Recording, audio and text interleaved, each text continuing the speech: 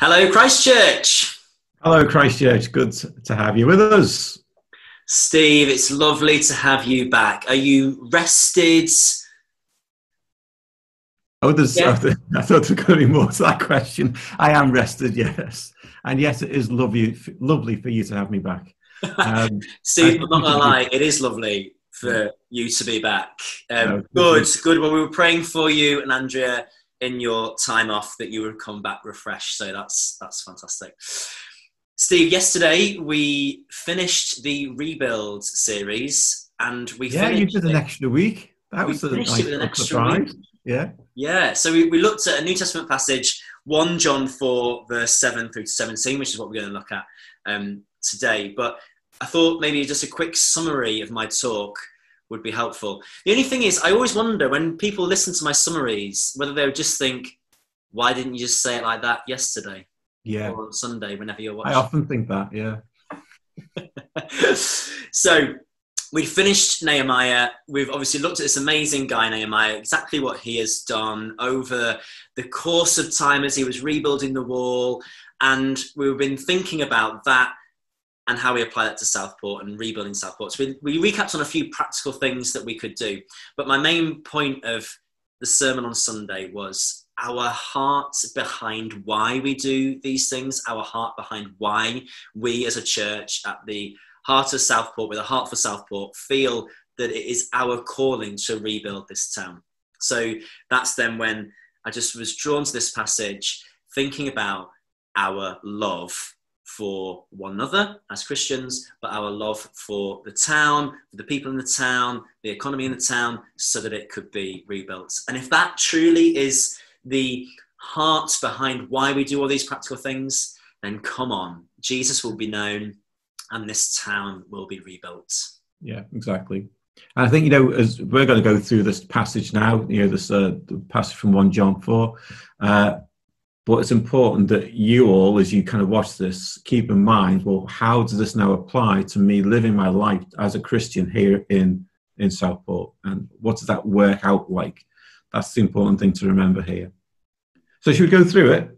Maybe almost verse by verse, a little bit expository. Let's do that. Let's yeah, why not? So, verse 7, we, we won't read out every verse, will we, Steve? No. But shall I read out verse 7 just to get us in the swing of it? Yeah. So, verse 7 says this Dear friends, let us love one another, for love comes from God.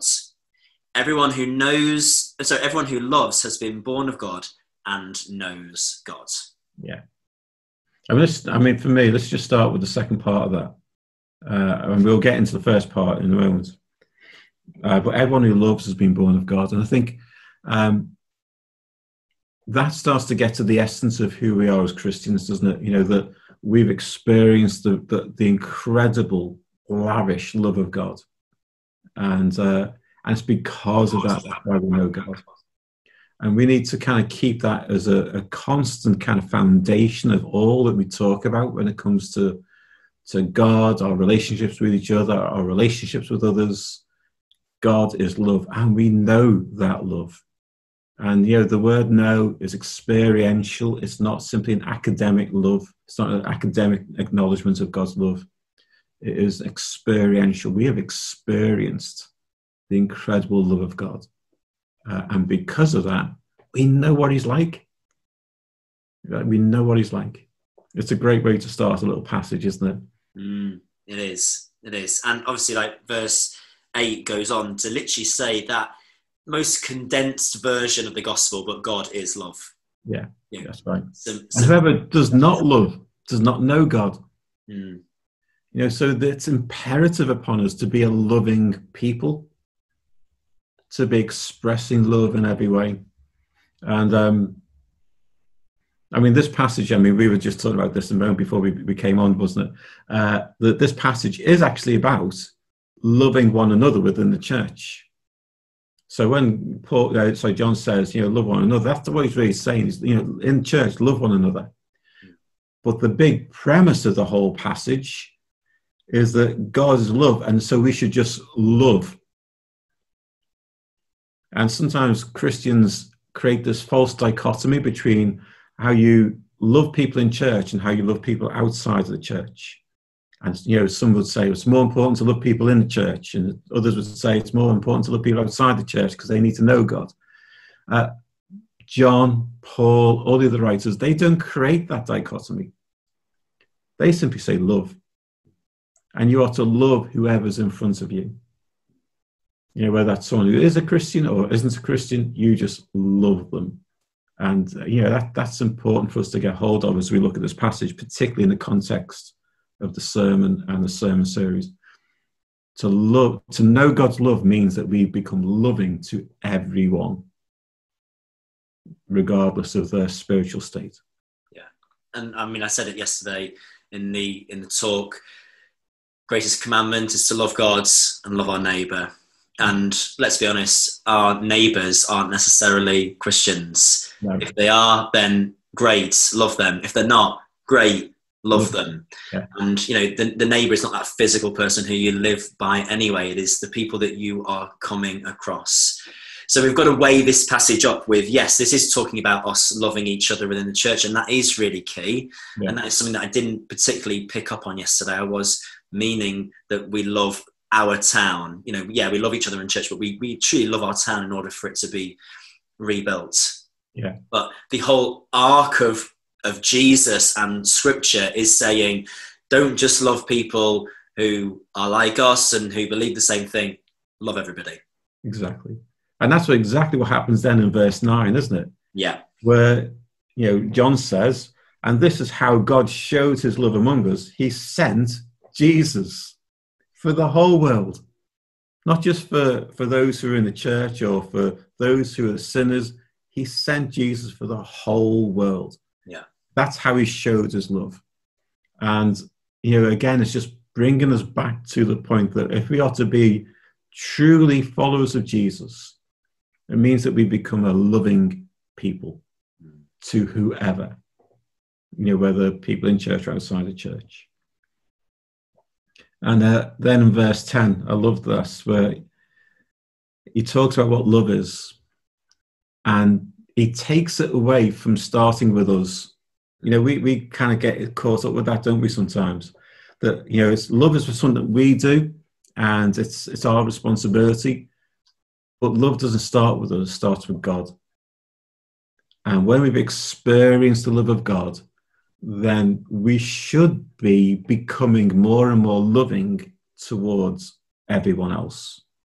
The more we experience the lavish, indescribable, boundless love of God, the more we should become loving to everyone else. And for me, I think it is a it's a, it's one of those little tests you can do with yourself. You know, am I growing in Christ? Well, are you becoming more loving? Mm. If you're not, mm, something's going wrong. Mm. You might know more of the Bible. You might be working harder for Jesus, but if you're not growing in love, then actually, are you really growing? Are you simply just doing more? Mm and and that is the greatest act of love that that we could ever have seen ever as described in verse 10 and you know god is love. So therefore if if by definition love is who god is mm-hmm. you know we, we need to we need to define what love is by looking at who god is. And that and that's and that's how then we love others so our love is sacrificial. It is wholehearted. It is never ending. It is unceasing. And I mean, that, that's, a, that's a tall order on our hmm. part. But if truly God is love and examples his love by giving us this just mind blowing sacrifice of his only son for us, and that says something about how we ought to yeah. Love others. You know, if it's poured out on us like that, so we should also pour it out. I mean, just a, a, verse back in. Do you remember John's Gospel, Steve, as we were doing our daily connects? It reminded yeah. me so much. John 13, uh, this is verse 34 and 35. A new command I give you love one another as I have loved you.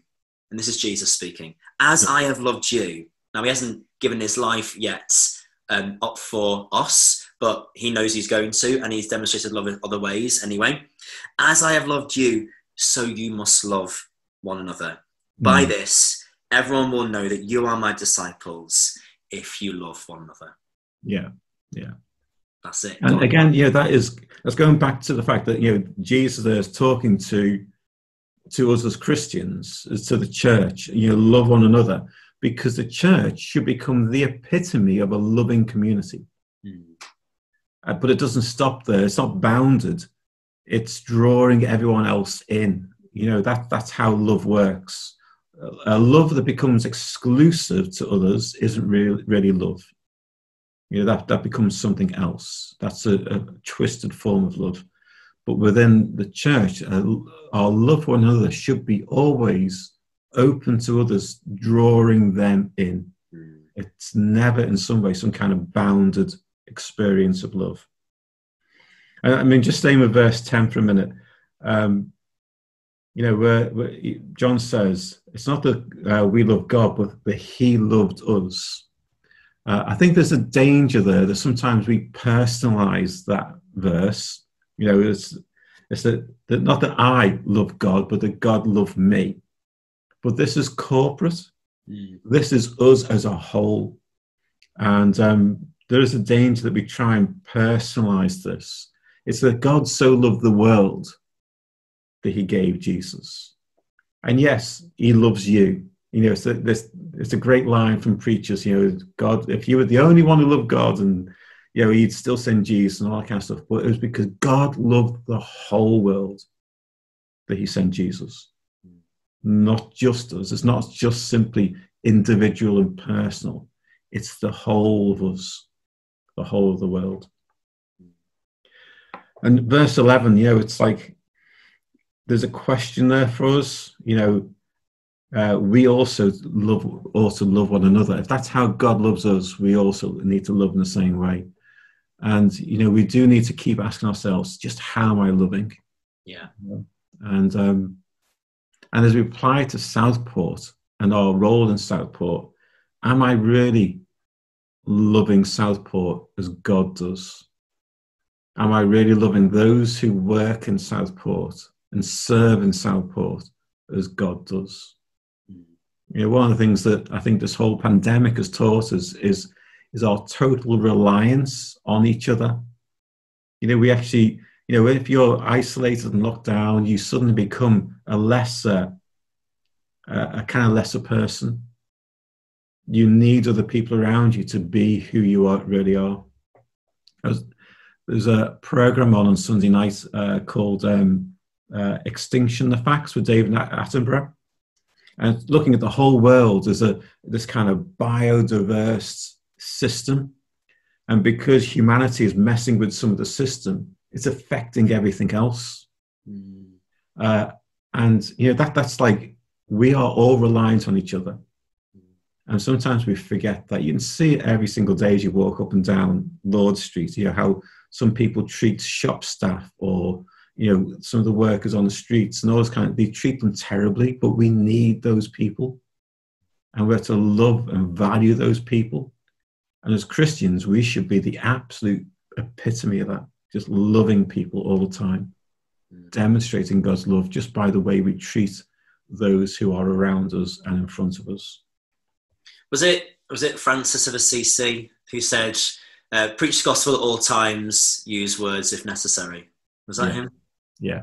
And that's it. I think I think that when in verse eleven where it says we ought to love one another, we've, we've got to put this passage in the context that the just heard chapter 3 being read. And if we look particularly at 16 through to 18 of chapter 3 in 1 John, it is talking literally about our actions mm. and how love is an action that we go and do. If any if anyone has material possessions and sees a brother or sister in need but has no pity on them, how can the love of God be in that person? Dear children, let us not love with words or speech, but with actions and in truth. Mm love is not just like oh I, I love you you know or can I can I you know I'll, I'll be thinking of you or whatever it is actually truly stepping out in that sacrificial way and actioning on Yeah. what we are saying that we're doing and not simply just saying it, but actually doing it. Mhm, Exactly. You know, and that takes us back to Nehemiah, doesn't it? You know, with the, the verse that you use from the message, Yeah. uh, you know, describes how they had a heart for the work of building the wall. yeah. And of course, they had a heart for the work because they were trying to firstly protect themselves, protect their family, protect their friends, and protect everyone else in their community who they were relying on for, for food or clothes or protection or whatever. You know, they, they, in that small community, understood their dependence upon each other. And so they needed to protect each other. So they, they had to work on the wall and they had a heart for the wall because they had a heart for the people within the wall. And so the more you start to love others, the more you should be led into action. You know, that's that's the key thing, isn't it? It is about moving love as a feeling into action. And I, I think in the Bible, I don't think ever really talked about love as a feeling. It talks about love as an action. Yeah. You know, God loved the world so much that he sent a love letter. No, well, you know, sometimes people say the Bible was a love letter. I don't see it that way. Uh, but, you know, he sent Jesus. He sent his son. And um, that was an action. And and God is love, and if and if He is the definition of what that is, if if we get our basis of what love is because of looking at God, God is a God who takes action. God is a God who is faithful. He doesn't just sit by; He actually does stuff. Yeah, And we're the same, aren't we? What What do you think about verse twelve, Steve? Uh, I'll read it while you're looking. No one has Okay, ever yeah. seen God, but yeah. if we love one another, God lives in us, and His love is made complete in us. Yeah. I mean, the first part that is, you know, no one has ever seen God, but you can experience his love. Yeah. You know, that's that's the kind of thing is that, that you know, people always want proof. You know, is there a God? You know, how I've never seen him. Will I ever see him? Uh, well, you will see him one day. You know, and how that day looks for you depends on what you do in this world. Uh, but, yeah. Uh, but it's God's love for us that is, in some way, the proof of His presence, the proof of His existence. And sometimes His love is shown to us by other people. And you know that's that's the other thing that we need to hold on to. You know, we want some kind of supernatural experience of love, which we can get. You know, I've experienced that loads of times, but I've also experienced God showing his love for me through the care and concern of other Christians. And the two of those things go hand in hand. It should never be an either or, it's always hand in hand. Uh, that God will sometimes choose to show his love for you through someone else. And, you know, that's the thing for us as we start to show love for other people, we don't know the impact that has on someone else because they might be looking for an expression of God's love for them in some way. And along comes you doing a simple act of love. And for them, that's like the biggest thing in the world because it's for them proof that God loves them. And we need to hold on to that, you know, to, to know that sometimes our little acts of love can mean incredibly big things for other people. And I, I think it speaks about the responsibility that we have as Yeah. disciples, not only as Jesus commanded it in the verses we just read before in John's Gospel, but there is this sense that if somebody knows that we are a Christian and then, then we don't show love, we're therefore not showing God. And if God lives in us by the fact that when we say and trust in God and when we turn in repentance, God's Spirit comes and lives mm. in us. He, he is in us. We have a responsibility to show the definition of love, i.e., God's.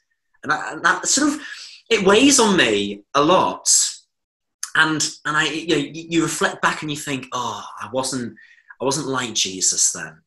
Therefore, I haven't you know haven't, haven't shown the true love of Jesus in that situation. So we repent and we and we endeavor with each thing that we do, each building block as we aim to rebuild Southport with every action that we do, do everything in love. But there is that responsibility.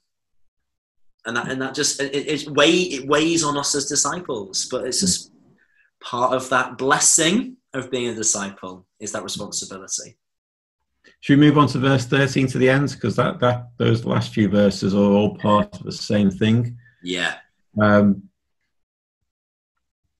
i mean to me they kind of they speak to us about something about what it means to be uh, a child of god uh, and you know john here says uh, this is how we know that we live in Him and He in us. In other words, what does it mean to be a child of God? Well, first of all, we have His Spirit. But then, secondly, we know His love. And it's like, first of all, you know that you're a child of God by living a supernatural life. And secondly, you'll know you're a child of God by experiencing His love and living out that love in your own life and those two things are, are together there. You know, and, um, and it's not just that we know that that God loves us, but that we testify as well. Yeah, that we are sharing that. God loves you. God loves you, and I know it because He loves me, and I'm a wretch. You know, uh, it's it's that kind of feel to this passage, um, and that we do that in the power of the Spirit, and uh, you know that's that's when we start to talk about love in action, sometimes it gets divorced from the power of the Spirit. And here, I think for John, it's, it's the same. It's you know two sides of the same coin. It's living life in the power of the Holy Spirit and in the incredible love of God, both of them together. And if you get that right, that's a powerful thing, isn't it? You know, to see supernatural power of God and the incredible love of God in action. Wow, that, that's great if we can get it right. I'm going to miss listening to you, Steve. Oh, I'm sure you will. You know, was watching it. Don't worry. I know what you'll do. You'll watch our deeper on on, the, on a Monday or Tuesday, then preach it on the following Sunday. Don't tell everybody. Oh, yeah. Steve, your your wisdom is is great. So thank you for that. Okay, so we have done wider in our conversation that we've had. And we're going to think about some questions that you, as mission communities, or you in your households, can just be thinking about and just really praying through as you just try to work some of this stuff out in yourself. Steve, have you got a poignant question for us today? Well, I, it's not um, a question, but I think if you're in any kind of group, or even if you're on your own and just to spend time ref, uh, reflecting on this, just think about how you have experienced the love of God and to share that with someone else. So even if you're watching this on your own and are not in a missional community or not in a household where you can talk about this kind of thing, uh, find an opportunity this week to tell someone about how you experience the love of God. Because uh, that's what we're meant to do. We're meant to testify about it. So I would encourage you to either in your group chat about it or at some point this week, tell someone about how you've experienced the love of God. So that'd be my first kind of thought. Yeah.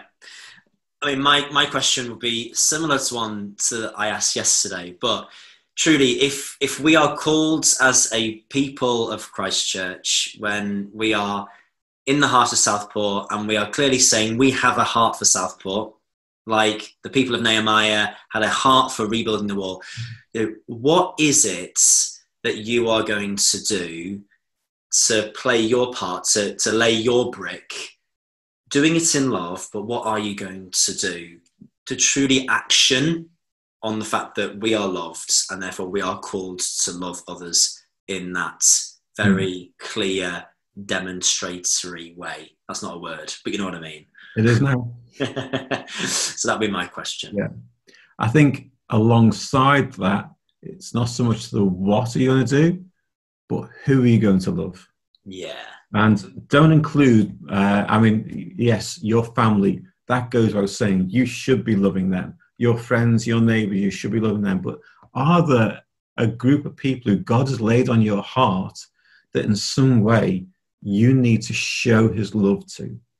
It might be other people in your street that you don't really know yet. It might be a specific group of people.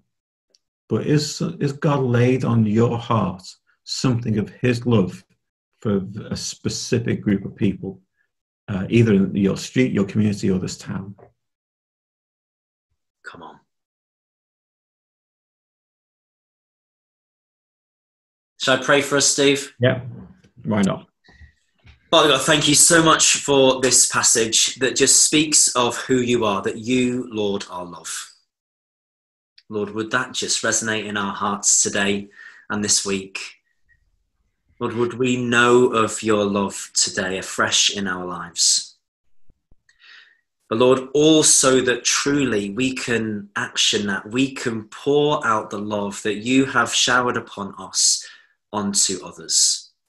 So, Lord, direct our paths, direct those conversations that we have so that we can truly show other people, demonstrate through action your love for them. Mm. Amen. Amen.